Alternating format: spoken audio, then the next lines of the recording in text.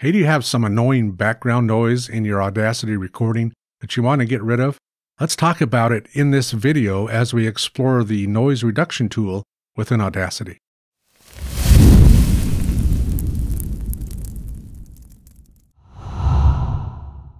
Hey, Mike Adams here with the Audacity Bootcamp. Let's take just a few minutes and talk about how to use the noise reduction tool within Audacity. It's a tool that I use every time I edit or master a recording. In fact, it's one of the very first tools that I use in my editing process is the noise reduction tool. The video that you're about to see is actually from my Udemy course. It's lecture 24, which is offered for free there. It's a free preview on udemy.com. So to make it simpler, I thought I'd bring it over here and share it with you. I hope that you find it informative and valuable as we talk about the noise reduction tool. Let's get going. In this lesson, let's talk about a really valuable effect or a valuable tool within Audacity called the noise reduction tool.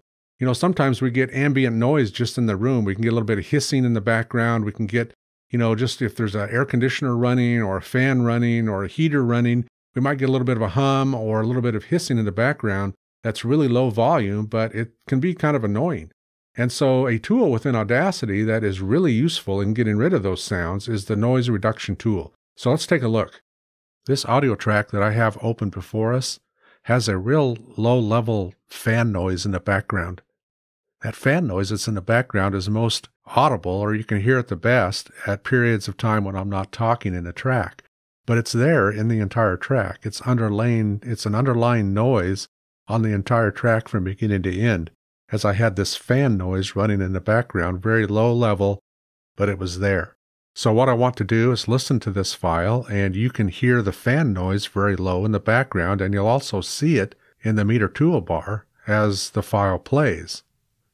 It's hanging around down around a minus 50 to a minus 48 dB in the meter toolbar and you'll see that visibly as the again as the file plays. So I'm going to press spacebar and let's give this a listen and then we'll come back and apply the noise reduction tool to it. As I'm recording this track, there's a real low level noise in the background. It's a fan noise. It simulates a fan running in the background as I'm talking. So I'm going to give this track some silence right here because we're going to need to be able to pick out the fan noise when we do our noise reduction on it. And I'll explain why in just a moment. Okay, so you heard the fan noise in the background. When I'm talking again, it's harder to hear, but it's still there. It's in the entire track. And once I start working on this track, if I do loudness leveling on it, if I do normalization on it, if I do nor- uh, compression on it, that fan noise is going to be amplified and it's going to get really distracting. So before we do any of that, let's apply the noise reduction tool and see if we can't eliminate that fan noise altogether. Now you probably noticed that I left a section of silence in there and I left it there on purpose. And here's why. Before I can apply the noise reduction tool, I need to tell Audacity what part of the track or what part of the waveform is the noise that I want to get rid of. So I need to select through the noise and then tell Audacity I'm considering this noise and I want this gone. That's why I left that uh, blank spot in there of just the fan running so I'd have a few seconds.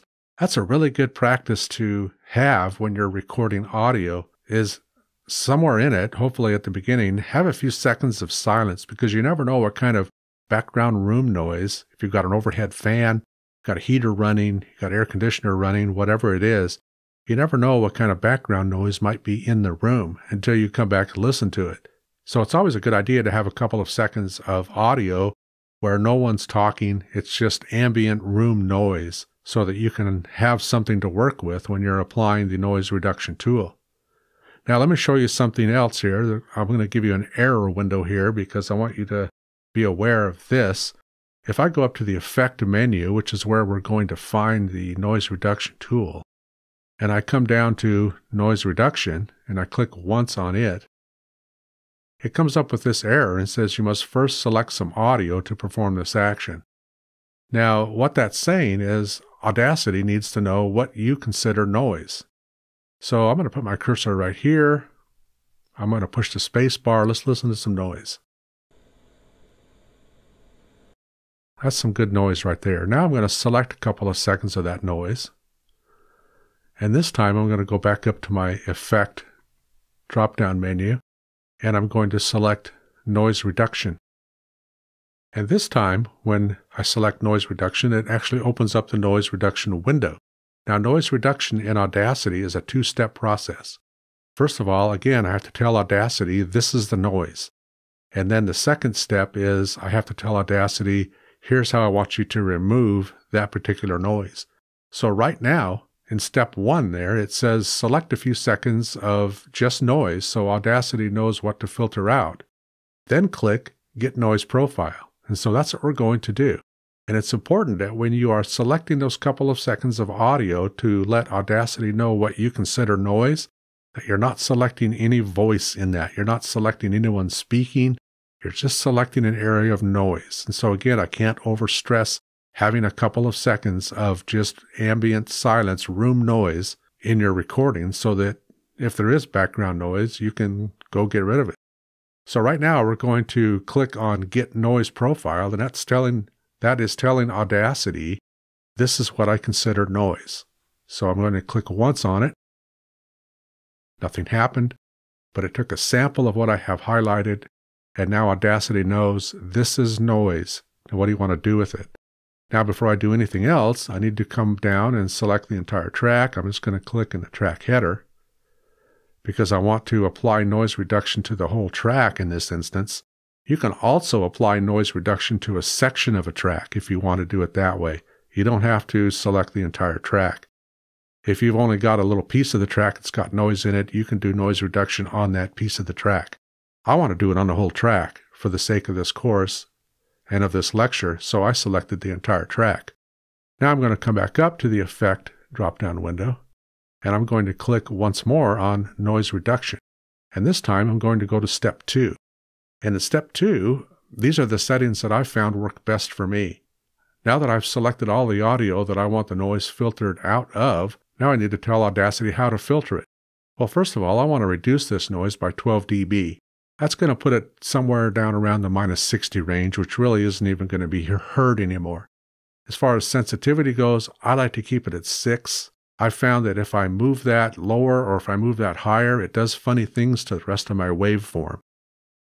When I click OK on this, if I see any big movements or any big changes in the way my waveform looks, I may want to go back and reset these settings and toy with them a little bit until I get a better setting that doesn't affect my entire waveform. I've had to play with this some, but this is what I've landed on.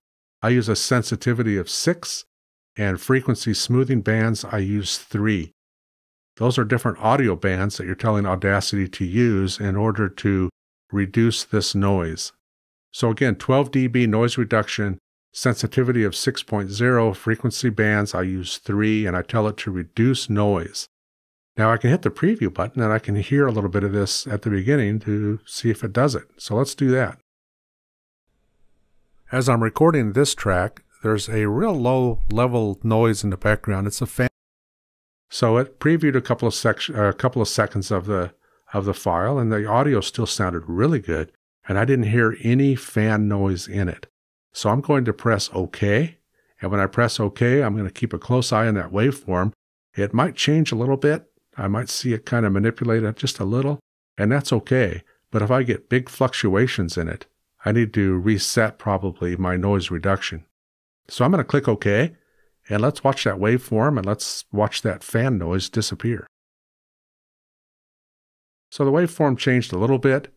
Before, in this section right here, we had a lot of fan noise. Let's listen again and see if it's still there. because we're going to need to be able to pick out the fan noise. So it's basically gone. I'm going to skip back to the beginning here. I'm going to push play again and listen to a little bit more of the audio.